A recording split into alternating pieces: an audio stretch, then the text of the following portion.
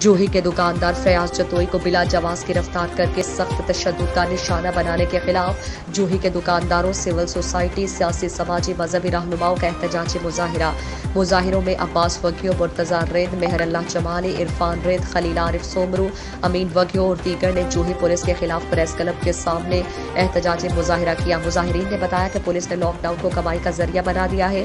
बगैर S O piece मवेशी मंडी में सिर भर के व्यापारियों की खरीदो फरोख्त के बावजूद कार्रवाई करने की बजाय रिश्वत पर खामोश है, जबकि दुकान बंद करके सामने बैठे हुए दुकानदार को गिरफ़्तार करके रिश्वत न देने पर सख्त तशद का निशाना बनाया गया।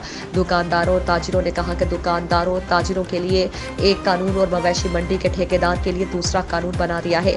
जो ही पुलिस की लॉकडाउन के बहाने करप्शन, रिश्वतखोरी बंद करके दुकानदार फयाज पर तशद गिरफ्तारी में मुलवस पुलिस के खिलाफ कार्रवाई की जाए और दीगर सूरत में शहर में शटर बंद हड़ताल की जाएगी, जिसके जिम्मेवार एस एस पी दादू होंगे।